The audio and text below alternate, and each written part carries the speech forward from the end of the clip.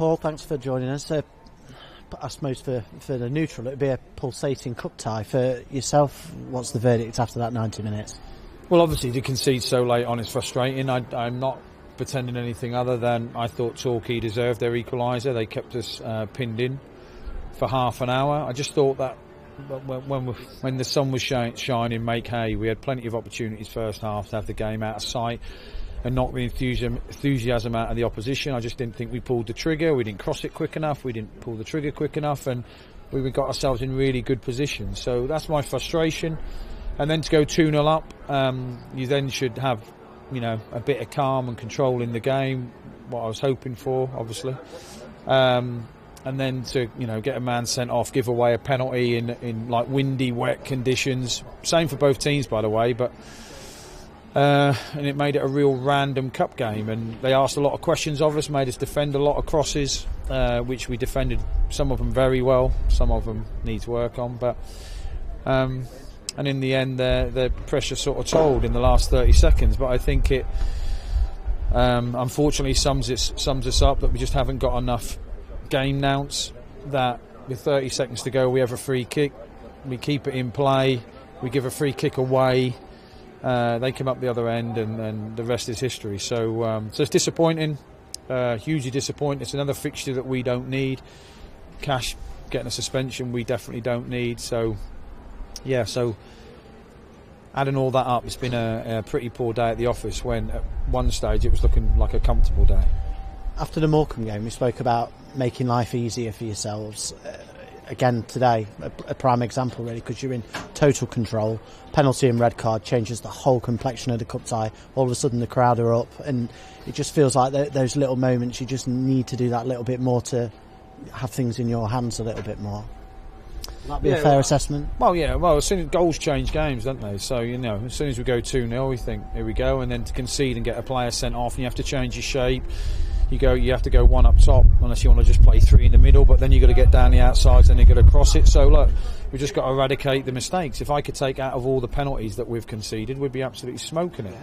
Um, and I'm not saying we've had as much control in the games than I would like but you can build on it. But we just keep like shooting ourselves in the foot a little bit and, and today is um, another one of them games where we're now going to have another fixture that we um, don't want but we're still in the hat and um, so in that respect I suppose it's a positive but it's just a disappointing day that you know we just keep pressing the self-destruct when we're in such a comfortable position.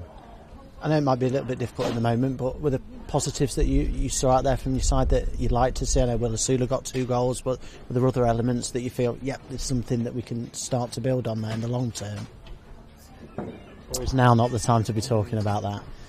But if we'd have won 2 1, I'd still have the same face. I still don't think we had enough control. Uh, they asked a lot of questions of us, and in fairness, uh, with better finishing from them, it, it, could have been we could have been out of the tie. So, you know, I said to the lads before the game, like, what am I going to learn about you lot today? What will I know about you after the game? And I've learned a few things that are pleasing, and I've learned a few things that aren't. And we need to have a harder edge to our game when things aren't going well. It's easy to play football when you've got the ball all the time and you're in the final third and all that, but you know, when teams ask you questions, you've got to stand up. And for the majority of the time, we did. But there's moments in that game, second half, where we might have let a runner go, didn't challenge, or whatever. So they're the frustrating things for me, and they're the things that, like, you win football games because you have the ball, but you've got to get the ball, and you've got to stop the opposition as well. It's just, it's not just about finishing and crossing and set pieces. Every part of the game, every facet of the game is essential to victories. And at the moment, we just haven't got enough ticks in enough boxes for me to, um, you know, take a real step forward. We're going to have another, you know, another not injury issue but suspension issue, and it's like it's just disappointing. We just couldn't come here today, get the game out of sight, three 0 make changes, rest them for Wednesday, no suspensions, no injuries, move on to the next. Uh, it feels like I've run over a cat or a magpie, whatever it is. So that, that's the frustration part. But you know, we're trying to show the lads what we think.